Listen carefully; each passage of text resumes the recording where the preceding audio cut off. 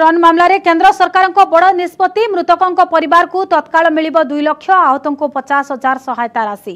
Hit and run ସଡ଼କ ଦୁର୍ଘଟଣାରେ ପୀଡ଼ିତମାନଙ୍କୁ ତତ୍କାଳ ଆର୍ଥିକ ସହାୟତା ପ୍ରଦାନ କରିବା ପାଇଁ କେନ୍ଦ୍ର ସରକାର ନିଷ୍ପତ୍ତି ନେଇଛନ୍ତି। ଏଥିପାଇଁ କେନ୍ଦ୍ର ସଡ଼କ ପରିବହନ ଓ ରାଜମାର୍ଗ ମନ୍ତ୍ରାଳୟ ଦ୍ୱାରା ଦଶ ଜଣିଆ ଉଚ୍ଚସ୍ତରୀୟ କମିଟି ଗଠନ କରାଯାଇଛି। କମିଟି ମୃତକଙ୍କ ପରିବାର ସଦସ୍ୟଙ୍କୁ ସଡ଼କ ସୁରକ୍ଷା ପାଣ୍ଠିରୁ ତତ୍କାଳ ଦୁଇ ଲକ୍ଷ ଟଙ୍କା ଏବଂ ଆହତମାନଙ୍କୁ ପଚାଶ ହଜାର ଟଙ୍କା ପ୍ରଦାନ କରିବେ। ଏ ସମ୍ପର୍କରେ ମନ୍ତ୍ରାଳୟ ସମସ୍ତ ରାଜ୍ୟମାନଙ୍କୁ ନିର୍ଦ୍ଦେଶ ଜାରି କରିଛନ୍ତି। କମିଟି ଜିଲ୍ଲା ସ୍ତରରୁ ସଡ଼କ ଦୁର୍ଘଟଣା ସମ୍ବଳିତ ମାମଲାଗୁଡ଼ିକର ଅନ୍ଲାଇନ୍ ତଦାରଖ କରିବା ସହିତ ଜିଲ୍ଲା ସ୍ତରରେ ସଡ଼କ ସୁରକ୍ଷା ପାଣ୍ଠିର ବ୍ୟବସ୍ଥା କରାଯିବ। ମନ୍ତ୍ରାଳୟର ତଥ୍ୟ ଅନୁସାରେ ଦେଶରେ ପ୍ରତିବର୍ଷ ସତୁରି ହଜାରରୁ ଅଧିକ ହିଟ୍ ଆଣ୍ଡ ରନ୍ ମାମଲା ଆସୁଛି। ପାଖାପାଖି ଅଣତିରିଶ ହଜାର ବ୍ୟକ୍ତି ପ୍ରାଣ ହରାଉଛନ୍ତି। ପ୍ରତିଦିନ ହାରାହାରି ଅଠସ୍ତରୀ ଜଣଙ୍କ ମୃତ୍ୟୁ ହେଉଛି ପ୍ରାଣ ହରାଉଥିବା ଏବଂ ଆହତ ବ୍ୟକ୍ତିମାନଙ୍କୁ ବୀମା କମ୍ପାନୀ ଓ ସରକାରଙ୍କ ଦ୍ୱାରା କ୍ଷତିପୂରଣ ପ୍ରଦାନ କରାଯିବାର ବ୍ୟବସ୍ଥା କରିଛି।